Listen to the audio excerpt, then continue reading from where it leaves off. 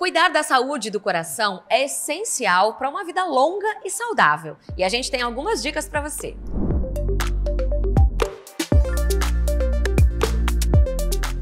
Uma alimentação saudável é a base de uma vida saudável. Tentar reduzir o consumo de carboidratos, frituras, óleos, melhorar o consumo de proteínas, ingerir bastante líquido e ter uma alimentação de maneira periódica, sem longos períodos de jejum. Claro que também, sempre que possível, um acompanhamento com nutricionista fazem toda a diferença para a saúde do indivíduo. A prática de atividade física também é essencial pelo menos cinco dias na semana por 30 minutos de uma caminhada em ritmo um pouco mais acelerado, já consegue reduzir o risco cardiovascular e reduzir o risco de outras doenças como hipertensão, diabetes e colesterol alto.